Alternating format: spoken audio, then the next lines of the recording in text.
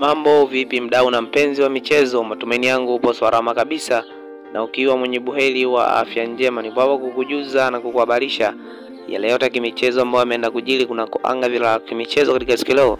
Cha msingi, kama ndo mara yako ya kwanza unajiunga nasi, kipindi hewani ni kipindi cha michezo. Chukua time hapa, bado ja subscribe na ndo mara ya kwanza unatazama video, bonyeza button imeandikwa subscribe, kisha bonyeza alama kengele, utakuwa wa kwanza kupata habari zetu za michezo za kila siku na kila wakati kutoka basi katika taifa yote ya kimichezo. Moja kwa moja bila poteza time, ishu nzito ni kuhusiana bwana na ujio wa mchezaji Jose Mixon eh, kurudi katika klabu ya Simba Sports Club ambao bwana ameweza kupokelewa vizuri bwana na mchezaji Kadis Chota Chama eh, na kuweza kumuonesha heshima yake kwamba amekuwa ni mchezaji ambaye alikuwa tegemea katika klabu ya Simba Sports Club. Ni mchezaji ambaye mpaka sasa hivi bado anamrespect sana na anamkubali. Sasa baada ya kurudi Jose Mixon katika klabu ya Simba Sports Club ameweza kupokelewa na Chama eh, hivyo basi na kuonyeshwa upendo eh, wa aina yake ambao bwana ameweza kufurahishwa na kitendo hicho na kuonekana kwamba bado klabu ya Simba Sports Club inamhitaji, hususan wachezaji wenzake bado wanampenda mchezaji huyo. Mchezaji huyo ameweza kurudi katika klabu ya Simba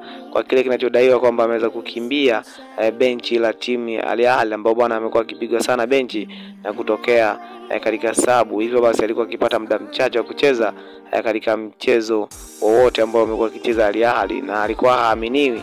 Sasa kitendo hicho kimeweza kumfanya aweze kuondoka katika klabu hiyo kwa kile kinachodaiwa kwamba ameweza kuona eh, kwamba kuna kila dalili kwamba kiwango chake kinaweza kika, kikaisha eh, ama kinaweza kapungua katika timu hiyo kutokana na kila siku akianzia benchi, siku nyingine hapati nafasi kabisa kucheza eh, katika timu hii. Tunafahamu kama Al Ahly ni timu kubwa kwelikweli, pia imekuwa imesheheni wachezaji wenye majina makubwa, wengi wao wakitoka eh, nje ya bara la Afrika kama Uingereza wakisajiliwa katika timu hiyo.